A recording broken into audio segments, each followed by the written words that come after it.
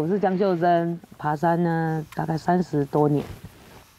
我在国中二年级的时候呢，开始爬第一座山，啊，那时候是叫山呐，哈，现在应该不叫山了，就是擎天岗。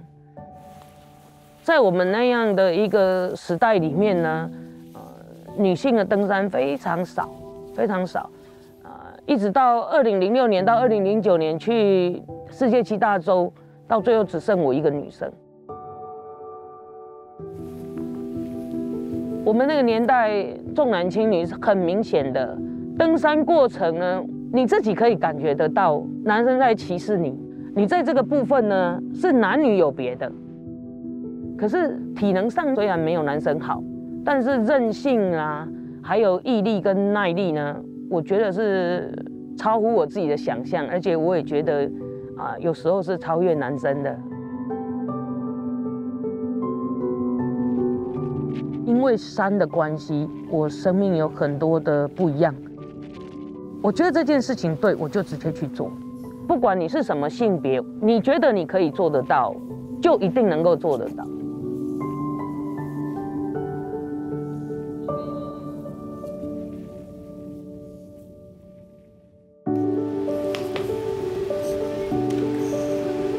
我是刘伯君，我是台湾第一位女性国际棒球裁判。因为我从小就很喜欢棒球，可是没有机会参加球队当裁判，我觉得这是我奉献棒球的方式。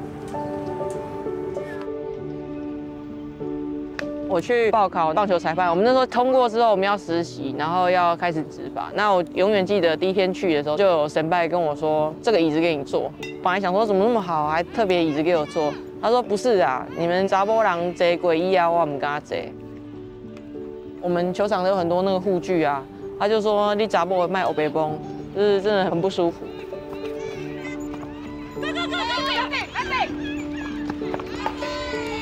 我就很喜欢棒球裁判这份工作，更胜于那些人阻止我。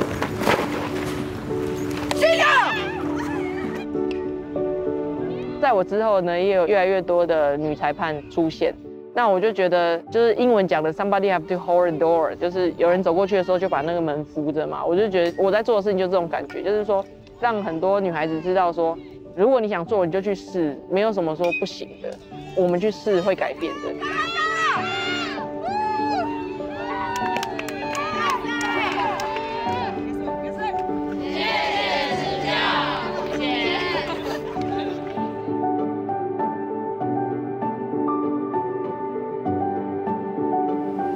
我是杨廷玉，我的专长是汽车喷漆。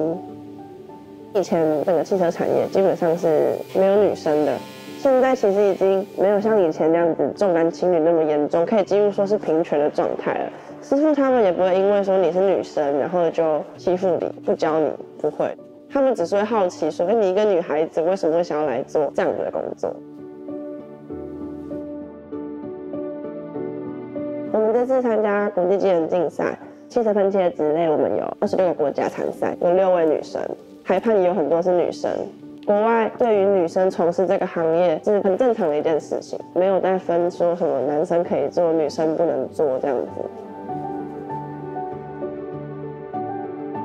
刚比完回来，有很多报道，台湾很多人就会看到这些报道，那他们就会开始知道，哦，原来女生也可以做这件事情。开始会让小朋友说：“哎，你好像也可以去走技职，不一定要走喷漆啊。”那他们就可以说：“哦，原来技职也可以闯出一片天啊！”这样子，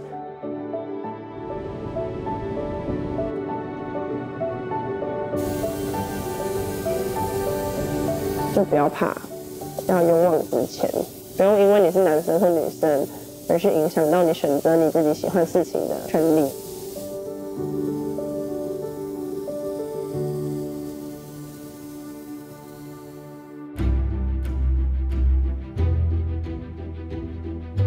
我叫黄小文，我是一名拳击手，今年已经学拳九年多了。姨妈那种吧，他们遇到我都会说什么：“你怎么不去当 model 啊？要去怕滚啊？哎，就危险之类的。”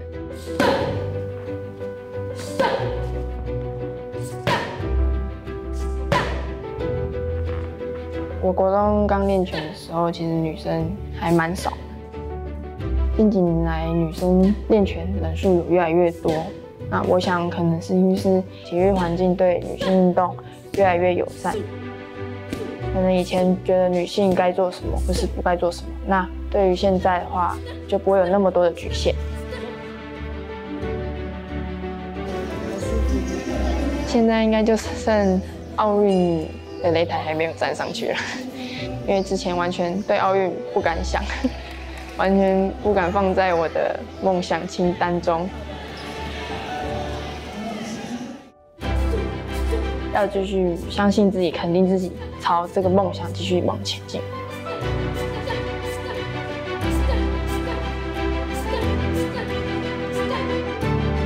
我觉得梦想这条路，也许过程中会遇到失败，但也不要放弃，不要害怕尝试，因为你有尝试才有机会。可能很多人给你很多不好听的话，但是你知道你自己在做什么，这样就好了。不要看清自己，你要去改变，就是要靠你自己。